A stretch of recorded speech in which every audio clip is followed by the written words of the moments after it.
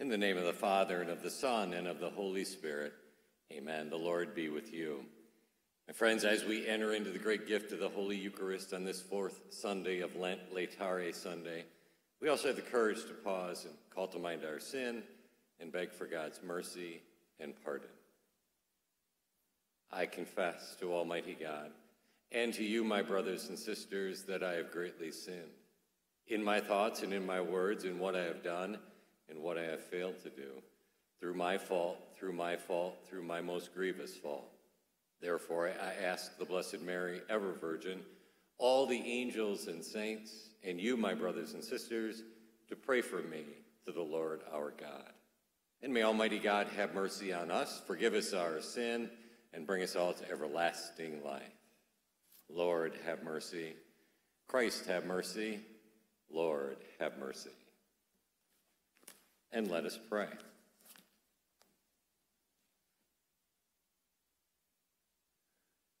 O God, who through your word reconciled the human race to yourself in a wonderful way, grant, we pray, that with prompt devotion and eager faith, the Christian, Christian people may hasten toward the solemn celebrations to come.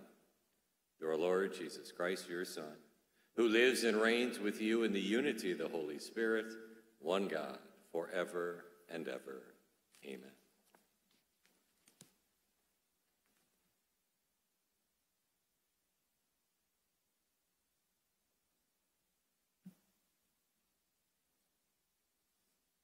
A reading from the first book of Samuel. The Lord said to Samuel, Fill your horn with oil and be on your way. I am sending you to Jesse of Bethlehem, for I have chosen my king from among his sons. And Jesse, as Jesse and his sons came to the sacrifice, Samuel looked at Eliab and thought, Surely the Lord's anointed is here before him. But the Lord said to Samuel, Do not judge from his appearance or from his lofty stature, because I have rejected him. Not as man sees does God see, because man sees the appearance, but the Lord looks into the heart. In the same way, Jesse presented seven sons before Samuel, but Samuel said to Jesse, The Lord has not chosen any one of these. Then Samuel asked Jesse, Are these all the sons you have? And Jesse replied, There is still the youngest, who is tending the sheep. Samuel said to Jesse, Send for him. We will not begin the sacrificial banquet until he arrives here. Jesse sent and had the young man brought to him. He was ruddy, a youth handsome to behold, making a splendid appearance. And the Lord said, There, anoint him, for this is the one. Then Samuel with the horn of oil in his hand, anointed David in the presence of his brothers. And from that day on, the Spirit of the Lord rushed upon David. The word of the Lord. Thanks be to God. The Lord is my shepherd, there is nothing I shall want. The Lord is my shepherd, I shall not want. In verdant pasture he gives me repose. Beside restful waters, he leads me. He refreshes my soul. The Lord is my shepherd. There is nothing I shall want. He guides me in right paths for his name's sake. Even though I walk in the dark valley, I fear no evil, for you are at my side with your rod and your staff that give me courage. The Lord is my shepherd. There is nothing I shall want. You spread the table before me in the sight of my foes. You anoint my head with oil, my cup overflows. The Lord is my shepherd, there is nothing I shall want. Only goodness and kindness follow me all the days of my life, and I shall dwell in the house of the Lord for years to come. The Lord is my shepherd, there is nothing I shall want. A reading from the letter of St. Paul to the Ephesians. Brothers and sisters, you were once darkness, but now you are light in the Lord. Live as children of light. For light produces every kind of goodness and righteousness and truth. Try to learn what is pleasing to the Lord. Take no part in fruitless works of darkness. Rather, expose them. For it is shameful even to mention things done by them in secret. But everything exposed by the light becomes visible. For everything that becomes visible is light. Therefore it says, Awake, O sleeper, and rise from the dead, and Christ will give you light. The word of the Lord. Thanks be to God. Praise to you, Lord Jesus Christ, King of endless glory. I am the light of the world, says the Lord. Whoever follows me will have the light of life. Praise to you, Lord Jesus Christ, King of endless glory. The Lord be with you. A reading from the Holy Gospel according to John. Glory to you, the Lord Jesus Christ. As Jesus passed by, he saw a blind, a man blind from birth.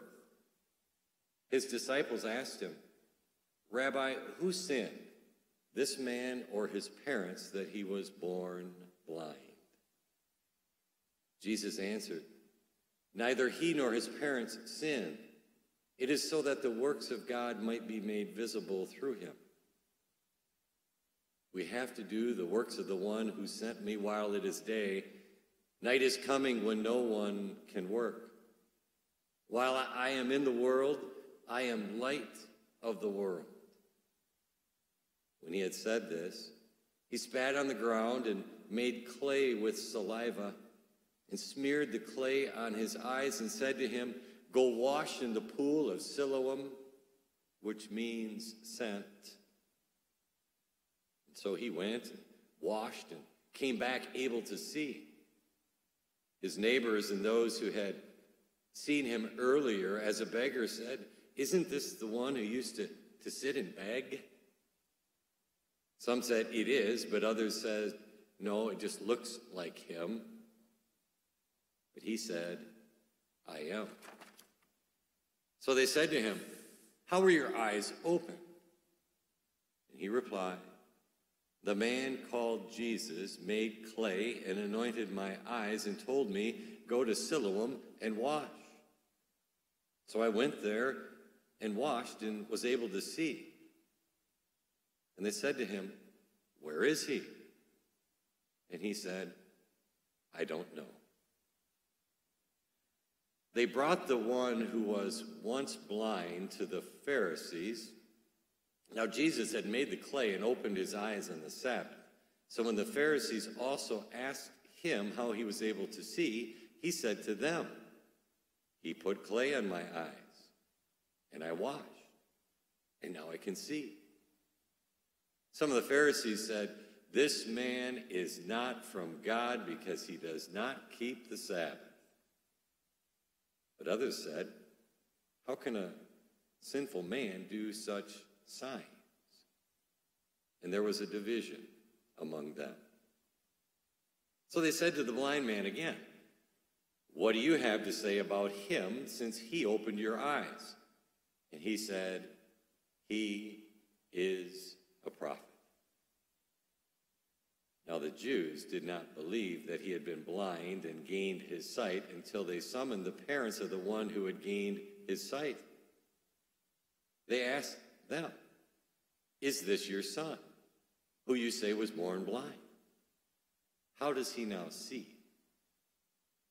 His parents answered and said to them, We know that this is our son, and that he was born blind. We do not know how he sees now, nor do we know who opened his eyes. Ask him. He's of age. He can speak for himself. His parents said this because they were afraid of the Jews, for the Jews had already agreed that if anyone acknowledged him as the Christ, they would be expelled from the synagogue. For this reason, the parents said, He is of age, question him. So a second time, they called the man who had been blind and said to him, Give God the praise. We know that this man is a sinner. And he replied, If he is a sinner, I do not know. One thing I do know is that I was blind and now I see. So they said to him, What did he do to you? How did he open your eyes? And he answered them, I already told you, and you did not listen. Why do you want to hear it again? Do you want to become his disciples too? They ridiculed him and said, You are that man's disciple. We are disciples of Moses. We know that God spoke to Moses, but we do not know where this one is from. And the man answered and said to them, This is what is so amazing that you do not know where he is from, yet he opened my eyes. We know that God does not listen to sinners, but if one is devout and does his will, he listens to him. It is unheard of that anyone ever opened the eyes of a person born blind. If this man were not from God, he would not be able to do anything. They answered and said to him, You were born totally in sin, and you are trying to teach us? Then they threw him out. When Jesus heard that they had thrown him out, he found him and said, Do you believe in the Son of Man? He answered and said, Who is he, sir, that I may believe in him? Jesus said to him, You have seen him, and the one speaking with you is he. And he said, I do believe, Lord and he worshiped. Then Jesus said, I came into the world for judgment so that those who do not see might see, and those who do see might become blind. Some of the Pharisees who were with him heard this, and they said to him, Surely we are not also blind, are we? And Jesus said to them, If you were blind, you would have no sin. But now you are saying, We see, so your sin remains. The Gospel of the Lord.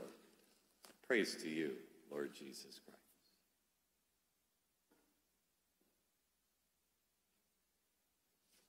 Peace be with you.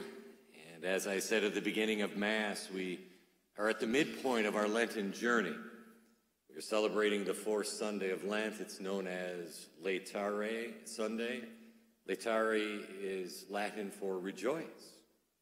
And in the midpoint of our Lenten journey, Laetare Sunday, rejoicing, is an expression of the church's joy in anticipation of the resurrection of our Lord, that which we celebrate, without doubt, Easter Sunday.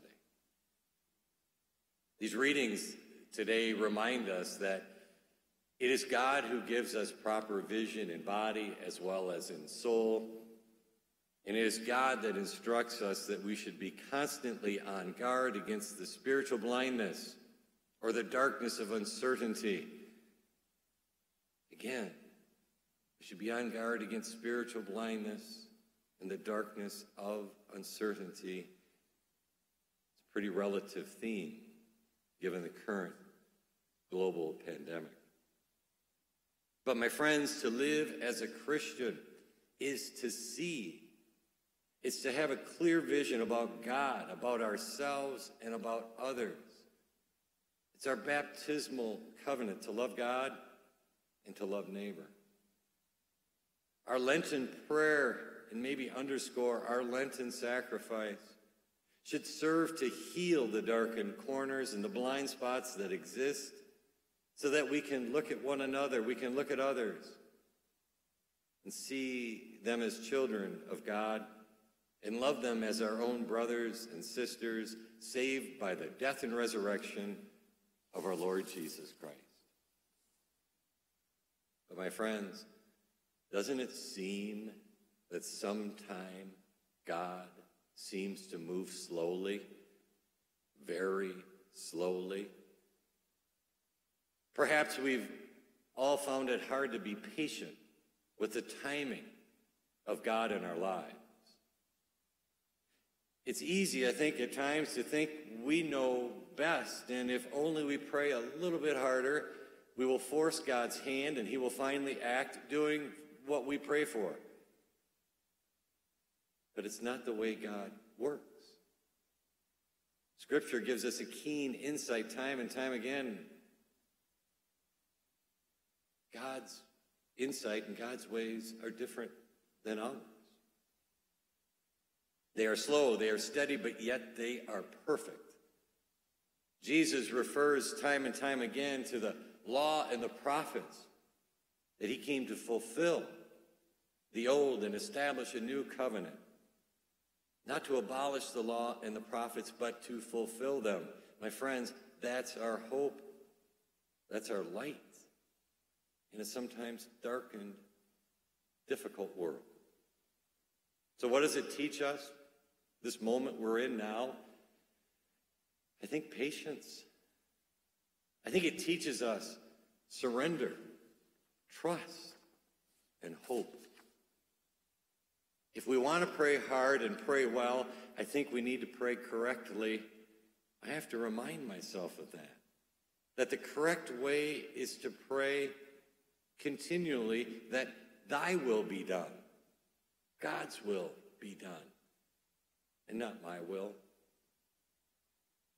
So as we continue this Lenten journey, we do rejoice because we surrender to Him and we allow His holy will to guide us in all things, to be our light so that we can be light in the darkened world. St. John Henry Newman uh, lived in the 19th century. He was an English theologian and poet. First, he was an Anglican priest and he had a conversion. He became a Roman Catholic priest and a cardinal of the church. He was an important and controversial figure in the religious history of England in the 19th century. He was a professor at Oxford University, and as a young Anglican priest, he, along with other scholars, started the Oxford movement. It was a movement to to kind of reform the church back closer to the, to the covenant, old and new, founded on Christ. Yet when he was 32 years old, his health deteriorated. It became bad. And so he had to take a break from his writings and his teachings, and he went to Europe to recuperate. Unfortunately, he contracted a, a deadly fever he wanted to return to England, but he was not allowed to. Transportation was not allowed. As he waited, his life became lonely and tedious. He was experiencing great physical and emotional despair. My friends, he was caught in darkness. And as he prayed, he penned he penned a beautiful hymn asking God for light to be able to see. He wrote, Lead, kindly light, amid the encircling gloom. Lead thou me on. The night is dark and I am far from home. Lead thou me on, keep thou my feet. I do not ask to see the distant scene. One step, enough for me. In his confusion and distress, Father Newman prayed to the God of light to lead him from darkness to light, from confusion to certainty, from sickness to health. God heard his prayer and led him home safely, and in 1845, he became a Roman Catholic priest and later a cardinal of the church. What does it mean for us? My friends, if you doubt that your light matters, if you doubt that your light matters in the world in which we live, the community in which we live, take this little quiz. Take this quiz. Name the five wealthiest people in the world. Name the last five Heisman Trophy winners. Name the last five winners of the Miss America competition. Do you know all these answers? Probably not. Ask yourselves some additional questions. Who fed and clothed you when you were helpless? What was the name of your first grade teacher? Who's the friend you would call on in an emergency or moment of need? You do know those answers. They are the salt and the light of the world. So, my friends, we, we do rejoice because our hope is in the Lord. We do, do rejoice because the Good Shepherd who enlightens the darkened world never turns away. My friends, we do rejoice because God is the same yesterday, today, and forever. In the name of the Father, and of the Son, and of the Holy Spirit. Amen.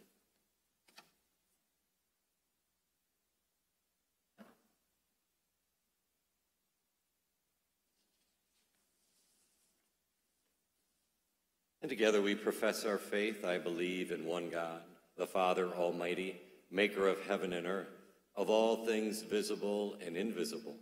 I believe in one Lord, Jesus Christ, the only begotten Son of God, born of the Father before all ages, God from God, light from light, true God from true God, begotten, not made, consubstantial with the Father. Through him all things were made. For us men and for our salvation, he came down from heaven and by the Holy Spirit was incarnate of the Virgin Mary and became man. For our sake he was crucified under Pontius Pilate. He suffered death and was buried, and rose again on the third day in accordance with the Scriptures. He ascended into heaven and is seated at the right hand of the Father. He will come again in glory to judge the living and the dead, and his kingdom will have no end. I believe in the Holy Spirit, the Lord, the giver of life who proceeds from the Father and the Son, who with the Father and Son is adored and glorified, who has spoken through the prophets. I believe in one holy, Catholic, and Apostolic Church. I confess one baptism for the forgiveness of sins, and I look forward to the resurrection of the dead and of the life of the world to come. Amen. And we offer our prayer and our petition, standing in the light of our risen Lord. We pray for all God's people that we may recognize those moments of darkness and blindness and turn to Christ to be healed. We pray to the Lord, Lord, hear our prayer. We pray for our Holy Father and for our bishop and all who catechize and evangelize. We pray to the Lord, Lord, hear our prayer. We pray for our caregivers and those who seek healing from this pandemic and all disease. We pray for those affected, for the unemployed and underemployed, we pray to the Lord, Lord, hear our prayer. We pray, as always, for an increase in vocations to the priesthood and to consecrated life. We pray to the Lord, Lord, hear our prayer. And this Mass is being prayed for Gerald Disrood and for his family. We pray to the Lord, Lord, hear our prayer.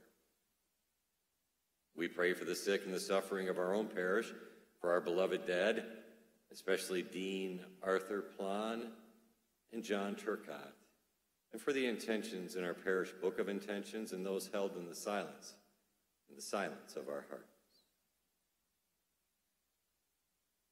We pray to the Lord, Lord, hear our prayer.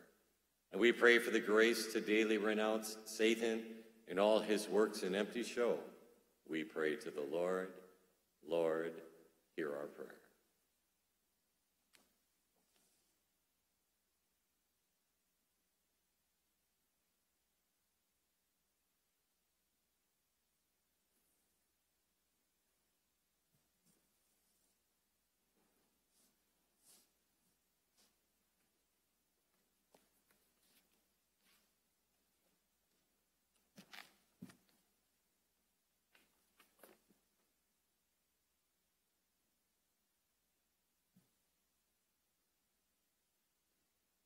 And blessed are you, Lord God of all creation, for through your goodness we have received the bread we offer you, fruit of the earth and work of human hands. It will become for us the bread of life.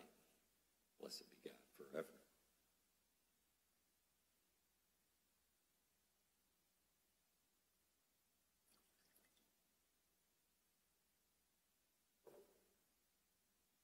And by the mystery of this water and wine, we come to share the divinity of Christ, to humble himself, to share in our humanity. And blessed are you, Lord God of all creation, for through your goodness we have received the wine we offer you, fruit of the vine, and work of human hands. It will become for us our spiritual drink.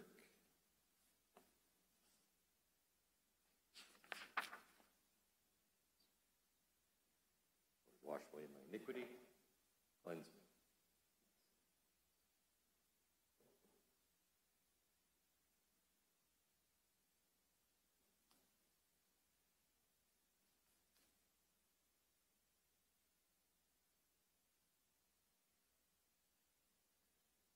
And pray, my brothers and sisters, that my sacrifice and yours may be acceptable to God the Almighty Father. We place before you with joy these offerings which bring eternal remedy, O Lord, praying that we may both faithfully revere them and present them to you as is fitting for the salvation of all the world through Christ our Lord. Amen. The Lord be with you and with your spirit. Lift up your hearts. We lift them up to the Lord. Let us give thanks to the Lord our God. It is right and just. It is truly right and just, our duty and our salvation, always and everywhere to give you thanks, Lord, Holy Father, Almighty and eternal God, through Christ our Lord. By the mystery of the incarnation, he has led the human race that walked in darkness into the radiance of the faith and has brought those born in slavery to ancient sin through the waters of regeneration to make them your adopted children. Therefore, all creatures of heaven and earth sing a new song in adoration as we, with all the host of angels, cry out and without end acclaim, Holy, holy, holy Lord God of hosts. Heaven and earth are full of your glory. Hosanna in the highest. Blessed is he who comes in the name of the Lord. Hosanna in the highest.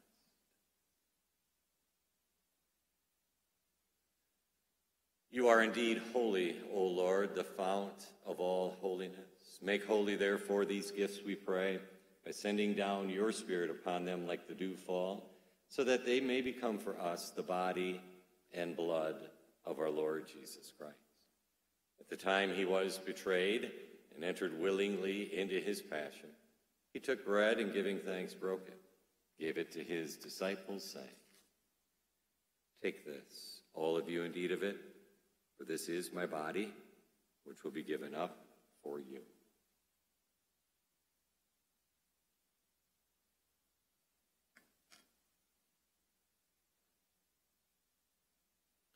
In a similar way, when supper was ended, he took the chalice and once more giving thanks, gave it to his disciples, saying, Take this, all of you, and drink from it. For this is the chalice of my blood, the blood of the new and eternal covenant, which will be poured out for you and for many for the forgiveness of sins. Do this in memory of me.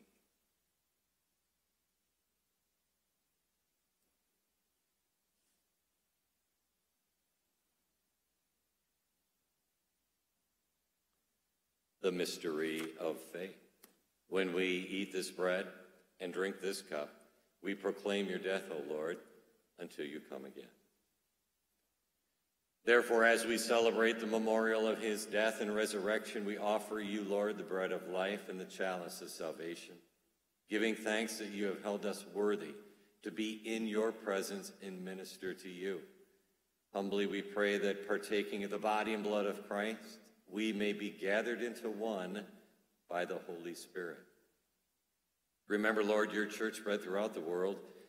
Bring her to the fullness of charity, together with Francis, our Pope, Donald, our bishop, and all the clergy. Remember also our brothers and sisters who have fallen asleep in the hope of the resurrection, and all who have died in your mercy. Welcome them into the light of your faith. And have mercy on us all, we pray, that with the Blessed Virgin Mary, Mother of God, with blessed Joseph, her spouse, with the blessed apostles and all the saints who have pleased you throughout the ages, we may merit to be co-heirs to eternal life and may praise and glorify you through your Son, Jesus Christ.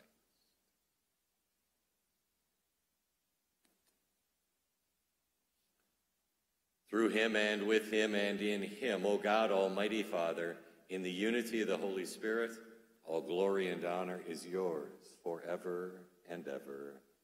Amen.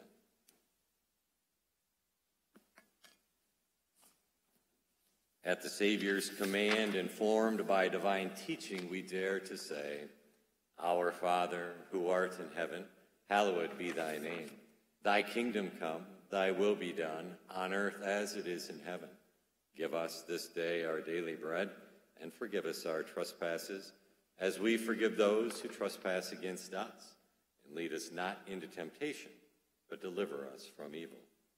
Deliver us, Lord, we pray, from every evil, and graciously grant peace in our days, that by the help of your mercy we may be always free from sin and safe from all distress, as we await the blessed hope and the coming of our Savior, Jesus Christ. For the kingdom, the power, and the glory are yours, now and forever. Amen. Lord Jesus Christ, who said to your apostles, Peace I leave you, my peace I give you. Look not on our sin, but on the faith of your church. Graciously grant her peace and unity in accordance with your will, who live and reign forever and ever. Amen. The peace of the Lord be with you always.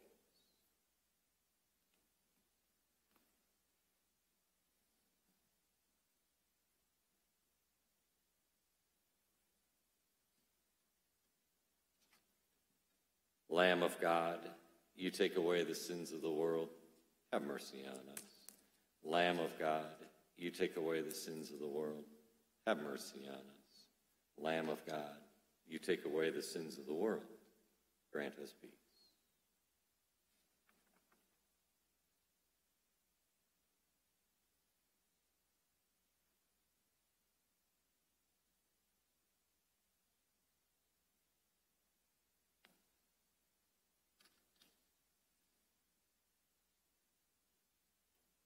Behold the Lamb of God. Behold him who takes away the sins of the world. And blessed are those called to the supper of the Lamb. Lord, I am not worthy that you should enter under my roof, but only say the word, and my soul shall be healed.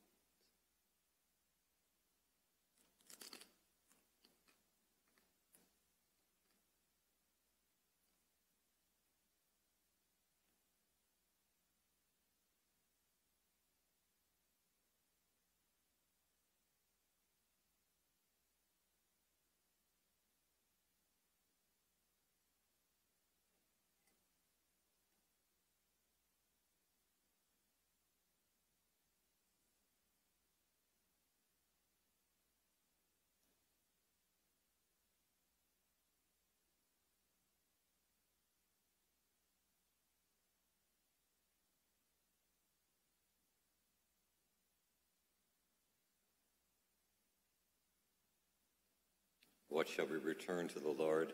For all that he has given us?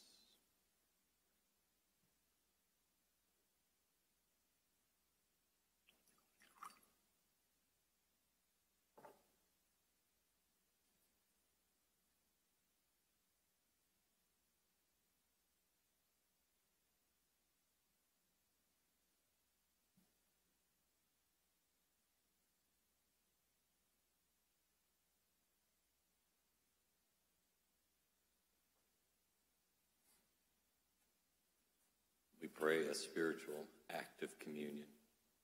My Jesus, I believe that you are in the blessed sacrament. I love you above all things, and I long for you in my soul. Since I cannot now receive you sacramentally, come at least spiritually into my heart. As though you have already come, I embrace you and unite myself entirely to you. Never permit me to be separated from you.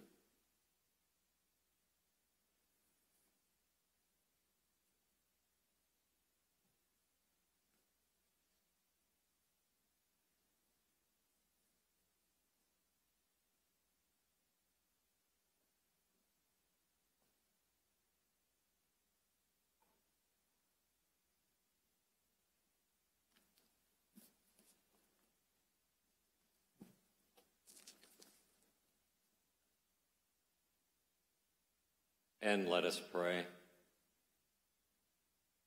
O God, who enlighten everyone who comes into this world, illumine our hearts, we pray, with the splendor of your grace, that we may always ponder what is worthy and pleasing to your majesty, and love you in all sincerity through Christ our Lord. Amen. The Lord be with you. And may Almighty God bless you, the Father, Son, and Holy Spirit. Go forth. The Mass is ended.